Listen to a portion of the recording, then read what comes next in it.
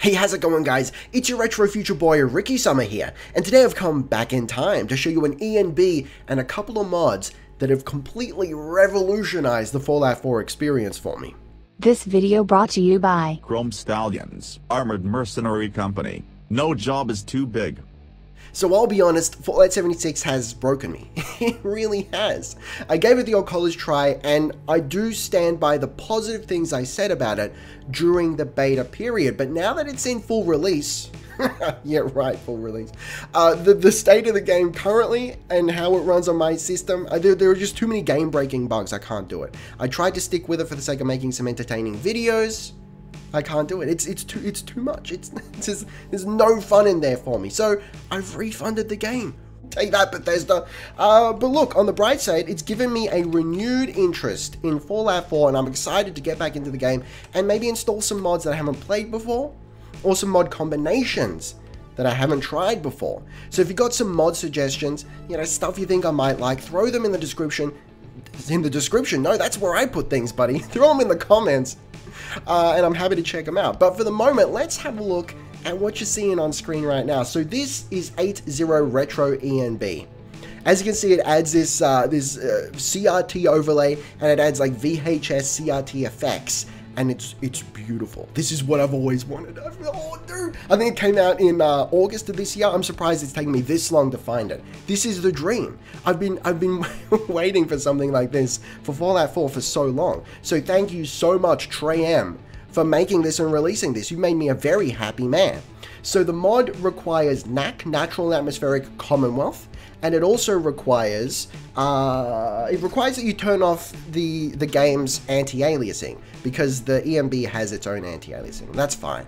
Uh, there's also a couple other mods that I'd like to talk about that fix up some immersion breaking issues, not with the with the ENB itself, but rather with Fallout 4 and how it interacts with the ENB. But for the moment, let's just have a look at uh, the options available to us in the uh, 8.0 Retro ENB. Okay, so let's just look at some of the major presets here. So enable uh, VCR effects. Hey, listen, we need to turn those on. let's not get crazy here. So you might be able to notice it's a real subtle, right there, we're talking RGB separation. Dude. My, I, I wish the world would had RGB separation. It's just an effect, i I'm just so into it. I got some deep, like deep-seated issues vis-a-vis RGB separation. Okay, let's make sure that all the all the presets here are, are, are on, right? Uh, okay, so we can actually change the tape type here.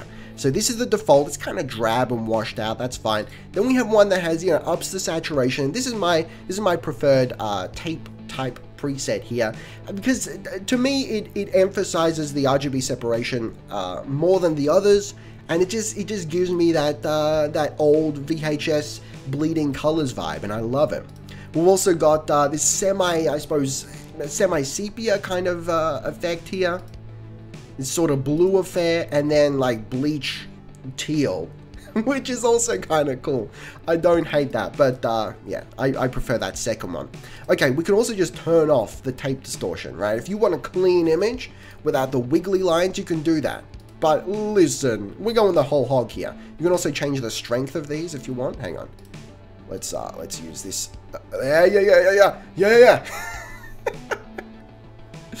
That's my jam, dude. We're just gonna leave it at default for the moment. And you can change the distortion type, right? Oh, so like really, oh man. The RGB separation though. it's doing it for me. Oh, yeah, let's go, let's go the whole hog.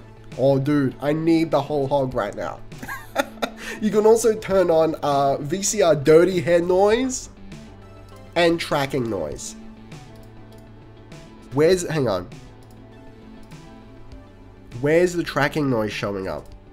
Oh, it's right at the bottom. Oh, okay, hang on. Do you see right at the bottom there? No, it's going across down the whole screen. It's just it just shows up more. Hang on, let's let's look at is it like randomized or something? It's subtle. I love it. That's really, yeah, there we go. That's really nice. I'm into that. oh, okay. Uh, enable VC. This is really cool. So you've also got this overlay that adds, uh, adds a play marker. You can also have, uh, you can put on rewind, fast forward, auto calibration, stop, and the FBI warning. I mean, why? Why do you need the FBI warning here? You don't. But it's included anyway, and I love that. I love that that's included. We're going to turn that off for the moment, though. Okay, so you can also just straight up turn off the CRT effects. If you just want 4x3, give me VHS, 4x3, let us go, right? You can do that if you want. And if you're like saying, if, you, if you're one of these people that are like, hey, dude, seriously, you got to limit your game to 4x3 on a 16x9 monitor, all right, fine. If you're one of those people you hate fun, I understand. We can turn that off and you can play proper 16 by 9. It's fine. We're still, we're still maintaining the effects if you're into that. You can also do this uh, this letterbox sort of ordeal for like a, um, I mean, it crops it, you understand. But I, I, I guess it's like a, a faux 21 by 9, huh? Or thereabouts.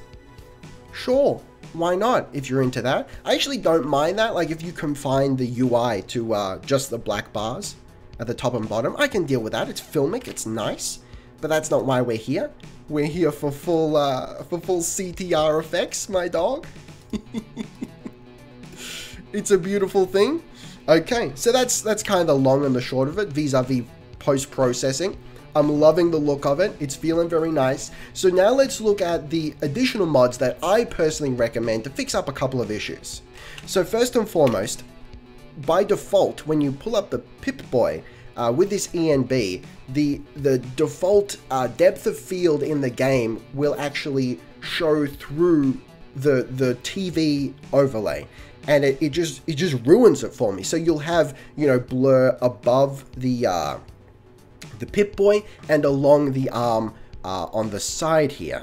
So you actually see the outline of the arm and then above that blurred over the overlay. It's it was it was ruining it for me, my dog. Because I mean, how often do you open your Pip-Boy while playing uh, Fallout 4? Quite often, right? So I was trying to, I was hunting down a, a way to, to shut off the depth of field. Ideally, I'd want to keep the depth of field while playing and just like turn it off when you open the uh, the Pip-Boy. But as far as I can tell, I don't think there's a way to do that. Maybe you would need a specific mod that just turns off depth of, depth of field while you've got the Pip-Boy open. I don't know, I'm not a modder. But I'm using depth of field removal. Why am I using a mod? Well, you can go into your INI and turn off the depth of field, uh, I suppose manually like that, but supposedly when you do that, when you when you then go underwater, you lose all the underwater effects. So let me just find some water here and I can show you some examples. Uh, so in order to maintain the, uh, the effects underwater, you have to use this mod, Depth of Field Removal by DAOW Ace. And that removes depth of, depth of field, but presumably keeps it when you go underwater. So let me uh, go underwater here. The only issue with that is then when you do go underwater, it actually spills out of the monitor and into your living room. So that's that's the trade-off there. You know, that's that's the trade-off. But uh, I think I would rather have this effect than maybe you know have just be able to see completely clearly underwater. I mean, it's it's yeah, look, it's not great, but the way it's kind of the way it comes out, it almost looks like it is actually spilling out of your especially when, when you go like fully underwater there. The water isn't quite deep enough, but it, it kind of does look like it's it's spilling out of your TV. And I, and I kind of like that. That's okay. I mean, how often do you go underwater in game, right? How often? Uh, okay, so depth of field removal I found very important. And there's links to all these in the, in the description, make no mistake. Uh, I'd also like to note that I'm personally using the performance preset of the 8.0 Retro ENB and I'm very happy with it. I'm, you know, for the most part getting anywhere between 50 and 60, which for Fallout 4, using an ENB as well, I think that's that's that's perfect, man. You know, that's uh you're doing very well. You're doing very well. Oh man, that, the RGB separation though. Look at that. The, the like there's hang on. The yellow Oh, I'm into it. I'm into it.